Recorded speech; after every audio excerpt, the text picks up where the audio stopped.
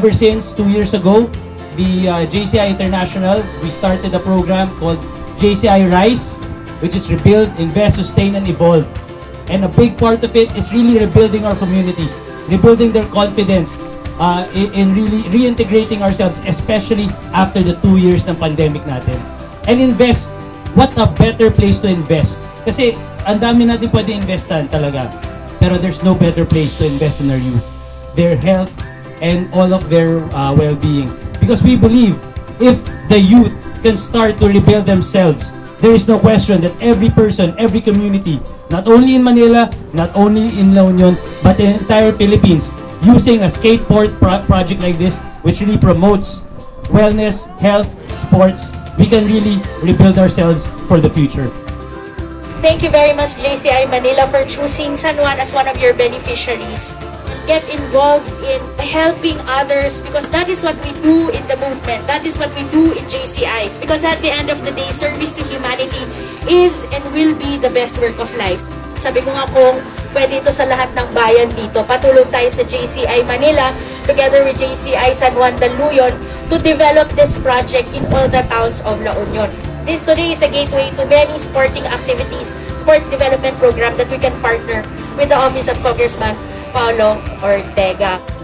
I firmly believe na sports and recreation should be part of a holistic environment. When you have a, when you have a sound body and a sound mind, then that will reflect uh, your work, your life, your attitude. We can establish this in the different towns as well, like like in Bawang, which is one of the biggest towns in La Union and somewhere in the north, we can advocate for this type of sport. So thank you for that and um, more power to JCI Manila, more power to San Juan, and of course, more power to our local skaters and sports enthusiasts. Thank you. Finally, we're here from a dream, from a plan into reality. And finally, JCI Manila Skate Park is now on the map.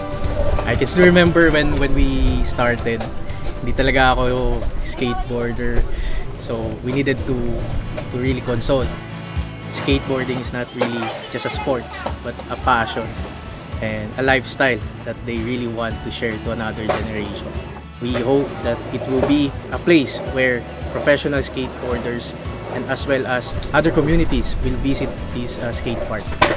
skateboarding really have an impact on my life because you know skateboarding nga 'di ba pag natutumba ka you have to fall get up and try the trick again over and over until you finally landed it. I mean that's basically life. Yung project na to actually kinontak ako ni Sir Ken from JCI so I got excited because you know as a contractor gusto ko rin talagang gumawa ng mga skate parks bowls you know. Kinikilala na siyang isang sport na mayroon na nga rin siya sa Olympics. So natutuwa ako sa ano ng skateboarding impact niya sa society ngayon. Especially with the kids, they already have their own playground like the skate parks itself. Hindi na sila may tataboy, hindi wala nang magpapagtaboy sa kanila kasi meron na silang sariling spot. So good thing na yung project ng JCI eh, mga skate balls. Malaking tulong talaga to sa mga future generation. Especially malay natin dito sa San Juan manggaling ang next na Tony Hawk. Di ba? When uh, first Commissioner Sonjay called me about this uh, specific project, I was very, very excited because uh, we really saw the need and the future of this uh, skating activity. Not only the children, but even the adults are into, and uh, no one was really paying attention to it. We were really focused on uh, basketball, you know, traditional sports that we're used to.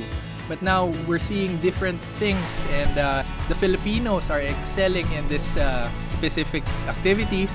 And I just want to say a great, great uh, job to all the team. And uh, this project will not stop here in San Juan. This is just the first. We have more to go going to the north and all throughout the La Union. Ko naman na dyan lang siya pero hindi siya nakapunta. Uh, pasalamat kami uh, dito sa collaboration namin with uh, JCI Manila. Uh, sana uh, we're looking forward na may mga iba pang mga collaborative efforts na mangyayari in the future.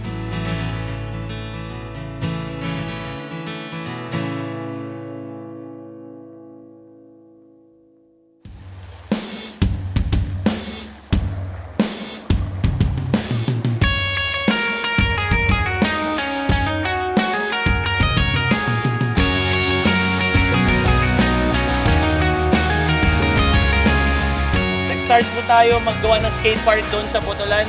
Ano November, kahapon may ginawa tayo sa La Union. Today, na natulungan natin at least ma-paint ang ating ah, facility dito. Ah, and marami tayong kausap all around the Philippines sa Iloilo and other places. And talagang kayo, kayong mga kabataan that do sports, talaga nakaka-inspire. Kasi dito talaga sa sports, dito talaga sa skateboarding, we can really uh, focus on our, our mental health, focus on our wellness, and talaga nakakatulong to magbibig, magbibigay din ng pride sa ating bansa. Not only through uh, skateboarding but also representing the Philippines hopefully in the future. Pero kaya lang natin gawin yun if we start young and we start as a community. Grabe, ang, ang napansin ko ta- talaga namin dito sa JCI Manila, napaka-init po and napaka-welcoming ng skateboarding community. Hindi lang dito, no? Sa buong Pilipinas. And talagang ano, we hope talaga na magtuloy-tuloy ito lahat, no? And uh, lahat yun kaya lang with your help. Together we can rebuild our youth and also rebuild the future. Thank you! Ngayon, thankful kami sa JCI Manila kasi nagbibuild sila ng mga skate park from iba-ibang province. Kaya mas nare-recognize ng skateboarding na mas maraming future rider na gagaling o may lalaban natin from international level. Kaya nagpapasalamat din ako sa mga sa Airwalk, sa Nippon Paint, tsaka sa mga local brand namin dito dahil hindi mabubuo itong event kung wala silang lahat. Yun, hoping kami sa next future namin sa event dahil na meron tayo maging kaunahan ng Sambales na gold sa SEA Games Olympics.